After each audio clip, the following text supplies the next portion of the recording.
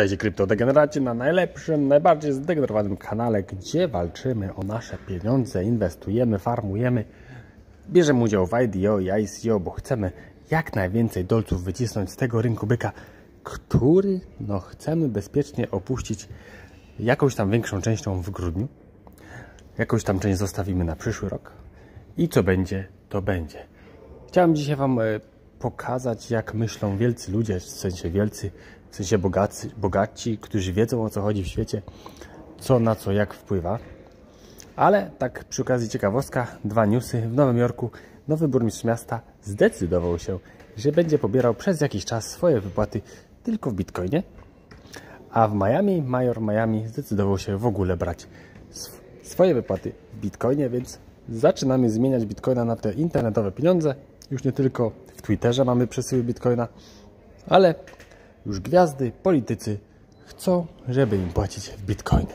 Główny powód tego jest oczywiście inflacja, o której rządy mówią, że jest taka spokojna, przejściowa, nic się nie dzieje, ale rządy tak będą mówić, bo to są ich pieniądze.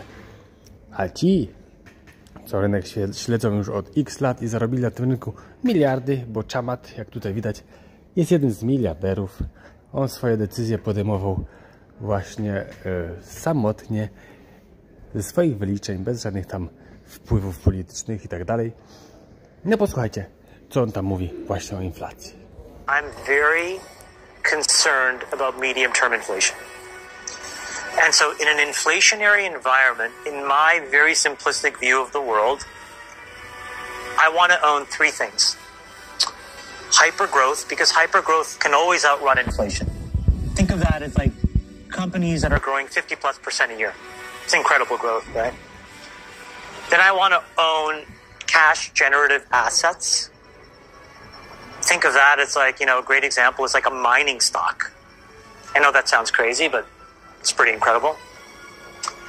And then I want to own non correlated assets Bitcoin, Solana, DeSo, a lot of the DeFi protocols, because it's a great counterintuitive hedge against all of this stuff.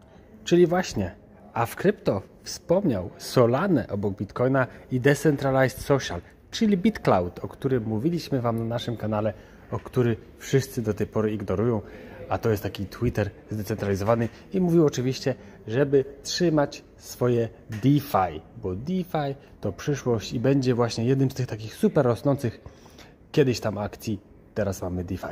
Także inflacja jest, jest prawdziwa i nie wiadomo jak długo to będzie trwało. Pozdrowienia.